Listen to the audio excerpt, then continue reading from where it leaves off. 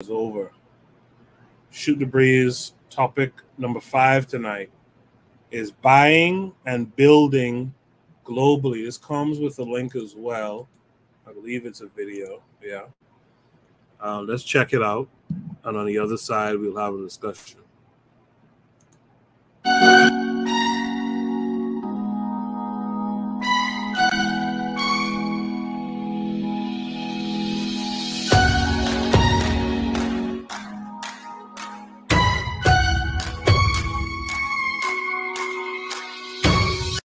What's going on, everybody? This is Afro Think Tank. Today, I'm going to show you something. I'm going to show you how simple it is and how simple the paperwork is to buy land and build a house. Uh, you know how thick paperwork is in America just to, to buy a house. You got hundreds and hundreds of papers just to buy a house. Hundreds and hundreds of papers. And I imagine buying land in in in America is the same way. Hundreds and hundreds of pieces of documentation that says what we don't know. It's a whole bunch of lawyer mumbo jumbo, probably some way to where they can steal it, take it back, do whatever, all sorts of trickery to make it difficult for us to do anything, you know, when it comes to managing our land or when they want to come and do something, there's some stipulation in page 5,678, um, freaking section four and all that crap very complicated. And I know that in other countries, and um, I don't know, in, in, it may be like that in other countries in Africa. I know in Ghana, you can't you can't technically buy land or own it, but you can, but you can lease it for like hundred years. I'm not sure how that works, but I know it's something like that. And I know some other African countries is like that. I don't know how it is in the Gambia about purchasing land. I don't know how complicated it is. But one thing, uh, you know, for sure is in Nigeria is very, very, very, very simple, and I'm going to show you. Uh, I'm going to blur out a lot of the information because obviously, you know, showing documents, you know, can be very risque because there's a lot of information on there. And, uh, and I, one thing about me is even though I'm putting myself out there to show you guys a little bit of information, I still have to maintain a level of privacy. That's why when people ask me, hey, where exactly are you? I'm never going to tell you. I'll tell you I'm in Ekiti, but I'm not going to tell you exactly where I am because that's stupid. When people ask me, when am I going somewhere or when I'll be somewhere. I'll never tell anybody exactly when I'll be there or when I'm going because that's stupid. Rule number one: never tell people when you're going somewhere, uh, exact dates. And rule number two: never tell anybody exactly where you are because you don't. I don't know. Be honestly, I, I, you know, I love my subscribers, but I don't know. I don't know y'all. All right, and y'all, some of y'all may be crazy. All right, and we know in in history has shown that there are crazy people out there that will pop up on you. All right, people you don't know that will pop up on you. So I hope you guys appreciate, you know, me walking this edge to show y'all a little something, something, how simple it is, how simple the paperwork is when it comes to purchasing land. Okay. Okay, as you can see, this is the property residential building. This is the blueprint of the house that I had built. Obviously, I blocked out some information, but you can see my name right there at the top and the consultant right there at the bottom. This is the big the front of the page right here. As you can see here, these are the blueprints of the house everything is um is up up to code. You know, everything is um approved by the local government and all regulatory bodies. I mean, everything's legit. There's no you know, there's no half-ass in this. This is a straight up and down um, proper business right here. Here in Nigeria, very simple blueprint of the house that I got built. Okay, at the top left, that's the chief magistrate, the one who facilitated the sale, and top right, that is the, the owner of the land that I purchased from. So that's the owner right there. As you can see, there's my name, Anthony Carter, and you can clearly read that I am the legitimate and actual owner of this land. So this purchase was very simple and straightforward, as you can tell right here. And finally, to seal the deal, you have the chief magistrate, the owner, and myself right here. We signed our, our names, and that's that's it. That is the purchase of the land. So I got the land, you got the house, and it's just that simple, guys. Just that simple. Now look at this. Look how thin that paperwork is. Look how thin that paperwork is. That's the per that's the per that's the building of my house and the purchase of my land. That's the total documentation. That's how simple it is to purchase land in Nigeria, right there. That is. That's crazy, isn't it? Simple, easy. Okay, so as you can see, it was very simple very straightforward, simple documentation, not a lot of extra over the top lawyer jargon. It's like, hey, I want to sell this land. I'm selling it to this person. This is how much it costs. He paid me. I, it's his land now. Stamp, sealed, delivered. Chief magistrate is yours. Boom. that simple. Land. There you go. You saw it. Blueprint. This the house. These the measurements. This the one person go home and do it. That simple. That's simple. And then you saw how thin that paperwork was, like that. All right. So even though you saw how heavily edited, you know, look, I ain't y'all don't need to know all my biz wax. I'm just trying to help out. You know what I'm saying? But y'all, y'all ain't tracking me. but anyway, I hope that uh gave y'all some value. I hope that I hope that um gave you a sense how simple it is to purchase land in Nigeria to get a house built in Nigeria and you see how legitimate it is. These are companies like any other company, you know, they, you know, very professional, you know, everything's legitimate, legal, no, no hanky panky, no funny business. You know, a lot of stuff going on over there in the Gambia. All right. It ain't like that over here. All right. Nigeria is simple, man. They they do business here. All right. It's all about they do square business here for real. I mean, for all the corruption that you hear about here in Nigeria, there's corruption in every country. There's no more corruption in Nigeria than there is in any other country. It's just that, just like they stereotype and they, and they, and they like to bad mouth, you know, uh, African Americans in America and everybody believe this and that. They also stereotype Nigeria. People love to stereotype Nigeria that everything's corrupt and blah blah blah blah. No, these people do business. It's just that, just like in any place else, there is corruption, like in any other country. Every country has people that are corrupt, but for the most part, doing business in Nigeria is pretty easy, guys. All right. So that's all I want to say now. I hope you guys enjoyed it. It's Afro Think Tank. Learn something, teach something. I'm out. You're listening to DJ DJ Afro Think Tank. Thanks for watching. Like. Yeah, I wish um Gas him up was here, being um he's from that area called Nigeria. Uh, shout out to Gas him up too, by the way. Um, and brother Bakari. Um, I guess Tanzania is probably gone. Uh, Kevin Carre, Shooter Breeze topic number five is buying and building globally. What did you get from that video? I'm inspired, and that's been on my mind anyway. You know, that's what we got to do. We can't stay here much longer. It's it's not for us, man. It, we, you know, it's not it's it's not for us here. We got to build, as you said about you know the prop with the lady from Colombia. You know, talking about our brothers and sisters all over the world. That's what we got to do. We got to start building from now. And land is cheap all over the world. Well, African world, black world. Thank you for that. Let's get let's um let's hear from Oni this time. Oni, what say you? I kind of wish I knew how much he uh, uh he paid. Right? He yeah. yeah. And and what was he saying about Gambia? Like what? I thought I didn't know something about Gambia. Um, but other than that, you know, I'm actually, I'm, oh yeah, I don't know. I, I got to apologize about that mic. I don't know what's wrong with my mic. It dropped one day, and I'm surprised you guys can hear stuff when it's muted. well, good thing I'm not doing anything appropriate. Uh, anyway, but uh, but uh, yeah, what was it? Uh, um, yeah, I was. I, I, wish I. I wish I. I mean, like, I wish I knew what, you, what he was talking about. But like, yeah, buying land, like, it's good for that brother to just go out there, get some land, get a home for himself. But that's what I was planning on doing too. Just getting myself some property, you know. And mm-hmm. I like that he's kind of, you know, quiet about it. You know, I would wait for after the project is built because that's yeah. that, you know, like you can't take into account. Like a lot of times people are quick with the paperwork and slow with the work, you know. Um, you know, they're quick to they quick to get your payment, but they slow to you know provide the service. And you know, we all we all experience that, sure, right?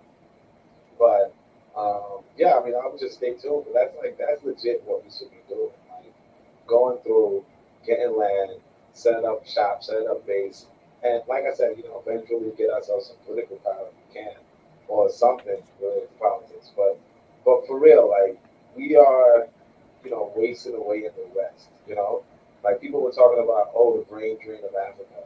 You know, it's not even like a brain drain. It's like when we were younger, you know, the what was it, the United Negroes College Fund. had a commercial where it's like a mind is a terrible thing to waste, right? Mm-hmm. And like that's what we're doing, you know. Like at the end of the day, if we are, ju- if our mind is solely at the employ of these white boys, we are wasting our minds. You know, like we didn't we didn't follow the commercial at all. I mean, even though the commercial was trying to push us to do this, but still, we didn't follow the commercial at all because, like, like it's legit. A mind is telling it to. We really should be using our minds for Yeah, damn. Damn, damn, damn. Uh um I, I heard from Kevin Kare, I heard from from did I hear from Jay on this one yet? I don't think so. Jay, yes. say you? Uh, uh I, I, I follow uh Afro Think Tank.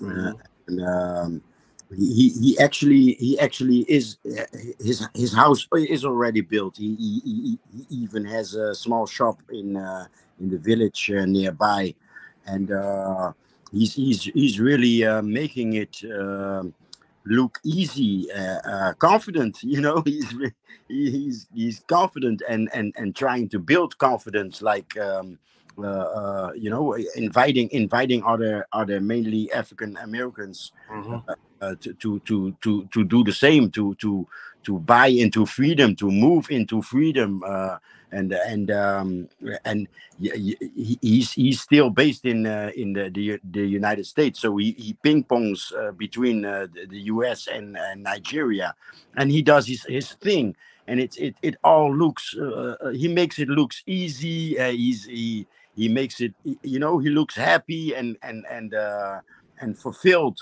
by by by doing it you know so so it, yeah uh, cheers, cheers to uh, to to Afro, Afro, think tank.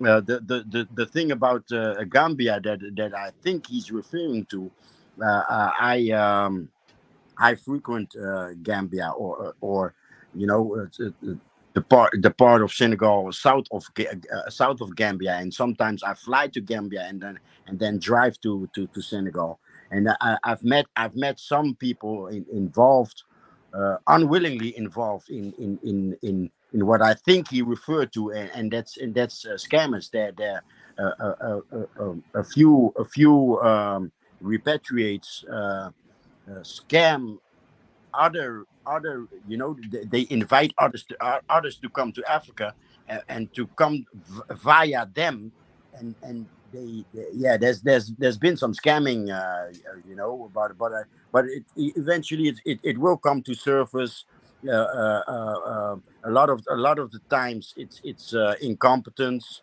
it's it's dreamers dreaming of of saving saving our people but but actually are incompetent and and maybe even uh, yeah uh, maybe even also uh, there there's some hidden uh, hidden uh, narcissists uh, over there in in the Gambia. But it, it it will come to surface. At, at this point it's coming to the surface. A, a, bit ugly a bit ugly but but finally finally yeah it, I, I think I think there's there's there eventually there there will come an end to it with with um, with the, the revealing of uh, of uh, of someone with a with a personality disorder behind behind a lot of uh, of, of the of the um, of the issues in in uh, in Gambia regarding uh, repatriates and and owning land, but but uh, you know the, the, the world outside doesn't know exactly what what was happening. So so I I, I guess. Um, him referring to the Gambia was uh, was uh, was not necessary. It was not necessary. I appreciate that, Jay. Let's welcome in Brother Bakari. Brother Bakari, how are you this week? What's up, Koku? Everybody on the panel, everybody in the chat. I'm great, man. I'm great. How okay. about you? I'm great. I'm great. It sounds like you're driving. Yeah, I just cranked up. I'm listening. I, I, I just had an opportunity to turn it on. Oh. So now I'm in. I don't even know what the last video was about. So right now I'm listening. okay, okay. I, will get back to you on the next prom then. All right. All right. Uh, Mr. Untouchable, what say you to this? Hey, Bakari, Mississippi, you late. Mississippi, you late. You late. Anyways, um, yeah, um, I, I, I. Here, here's the thing, Coco. I know a few um, um young millionaires in, in the Bahamas, right? Mm-hmm. I know a few of them, but I am trying to convince these brothers, you know what I mean, that there is a world that exists outside of 21 by 7 Bahamas. Mm-hmm. And it's very difficult because these brothers them they don't they don't go on these social media. They don't they don't be into internet and the things that I, you know, that I interested in. You know, they would say, well, you know, Cohen, you know, we'll invest, we'll invest. But I'm I'm trying to broaden their scope because these brothers they fly planes, they have their own commercial plane, they have their own little planes and and this and that. And I'm thinking to myself, man, you the dollar in the Bahamas is one to one. You could own acres of land in in Africa you know, and it's like it's very difficult to convince these brothers because it's like I don't have their money to take them to show them this is what you could get with this investment that with this this bag you sitting on. You know what I mean? You could double it and multiply it, but with with our people, you know, it's very difficult for them to think outside of the box that they was born into, man. It's just very difficult and it's it's break my heart maybe I need to show them some videos sometimes. But I am try I am trying to convince the people to who I know who have the the financial um, muscle to be able to make make these kinds of moves and serious differences in these these um other places in the world. But it's just it's difficult because some of our people are limited and I'm just trying to broaden their their, their scope of the world. The, it's, the world is bigger than Nassau. The world is bigger than the Bahamas, man the world bigger than the Bahamas. you know what I mean? The world bigger than America. True. So it's, it's just difficult. It's just difficult, but I, I understand what these brothers trying to do globally. And it's just the onus is really on people like me who have who have um, who are in spaces who have the ability to maybe possibly uh, convince the brothers in my community that hey let's do something let's try let's try this and let's try this. You know what I mean? So it's just the onus is on me, you know, and I understand that, but but I, I appreciate um Afro think tank and, and doing what he does. You know, I, I feel like we are at a, a you know they had a gold rush in California back in the day where a lot of people when they came into American territories, they went to California and to discover their gold and, and get their um their um their fortune. I mm-hmm. feel like we we are uh, go ahead. Sorry about that. Go ahead. Yeah, I, I, feel like we we are at a time where we are in that space right now, and and that space won't be here forever. So I think that we should embrace this gold rush for Africa because I don't want the Chinese to get it all. I feel like we should have some of our inheritance, our natural inheritance. You know, so you know, but that's that. When I see this video, you know, this this these are kinds of the issues that spark up in my mind that I need to be a better convincer in in in a, in convincing the brothers that I know who have the financial muscle to make some moves, you know. But that's why I am with it. Yeah, uh, I like what I see from Afro Think Tank, man. He's not just talking it, but he's doing it. I, I like like only though. I wish he would have, you know, given us an idea of like what the costs were as well. You know, just just to kind of, you know, get every, get everyone up to full speed, you know, and, and not just part. If there's no um, if there's no uh thoughts, well, maybe Tanzania's here. Is Tanzan here? Yes, yes, I am. Tan, did you happen to see that video just now from Afro Think Tank? Um, no, but I know that he does put uh, quite a lot of good stuff. Yeah, he basically was showing how simple it was to purchase land and build a home in Nigeria compared to the paperwork and all that and and the monies like in America.